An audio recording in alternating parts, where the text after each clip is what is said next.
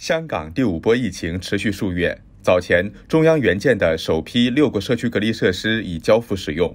为染疫者提供一方可以隔离治疗的场所。位于香港元朗区的新田方舱医院于今年三月九号正式投入使用，超过六百五十个隔离房间中，最多可容纳两千多名隔离人士，运作至今已一月有余。一个多月来，隔离者来了又走，不变的是方舱的守护者，他们历时数十日坚守岗位，致力为隔离人士提供舒心的服务。麦志宏亲身参与了新田方舱医院的前期施工，见证了工人们投入的血汗与艰辛。如今的他，也乐见香港疫情的稳定与好转。于他而言，此前的一切辛苦都十分值得。基本上，我哋就係用咗兩個星期嘅時間去建造。喺當中呢，我哋遇到好大嘅困難嘅。咁喺呢個起去起起呢個方艙醫院，誒同埋到而家呢一刻去到做維修保養啦。誒喺嗰刻，就算辛幾辛苦都好，我覺得自己都係一個香港人。誒點樣去到為香港或者社會去出一分力係好重要嘅。方艙醫院的正常運轉離不開安保人員的日夜巡邏。梁偉傑告訴記者，除了日常巡逻，保安同事还需对方舱中的硬件设施进行定期检查，确保隔离人士能正常使用。我哋安排亦都好多嘅不同嘅同事，不定時啦，我哋會去巡查好多不同嘅嘅入邊嘅叫洗手間啦，同埋入邊嘅沖涼房啊各方面。咁啊，亦都可以誒確保誒入邊嗰啲物誒嗰啲叫設施啦，咁啊亦都會係安全嘅。對我哋啲工作人員嚟講啦，咁啊可能話時間會長少少啦，因為我哋工作嚟講會係十二個鐘，但係對我嚟講，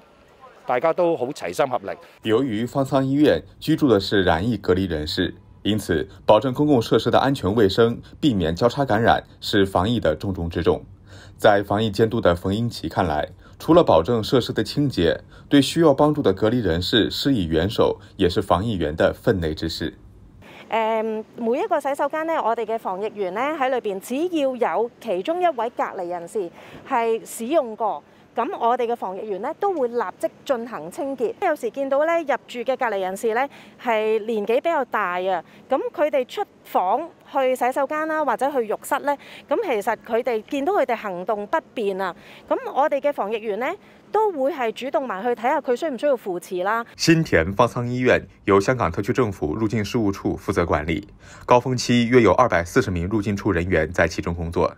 陳可嘉所負責的熱線電話中心每天二十四小小时全時運作，工作人員通過電話或聊天與隔離人士保持聯絡，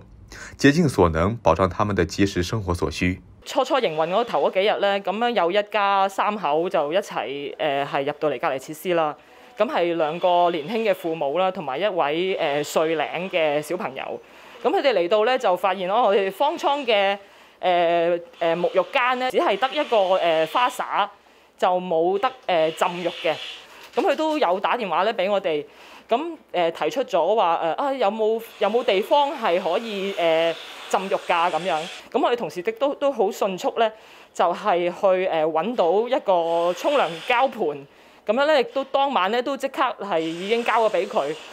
咁嗰兩位父母咧，亦都好即係好好好感謝啦，即係覺得我哋好細心啦。有求必應的背後是充足的物資供應。對於負責物資管理的何炯玲來說，每天的主要工作之一就是在倉庫中及時清點生活物資。咁我哋咧會安排咗小朋友，我哋會有啲書本俾佢哋啦，誒有玩具俾佢哋啦。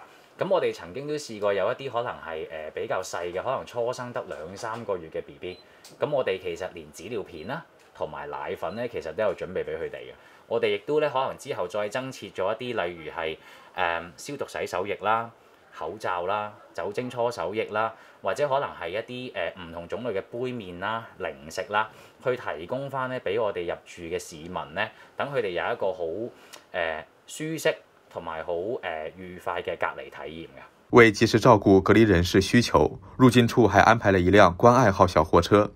每天滿載各種食物、生活用品，定時定点進入隔離設施，為有需要的隔離人士送上点滴温暖。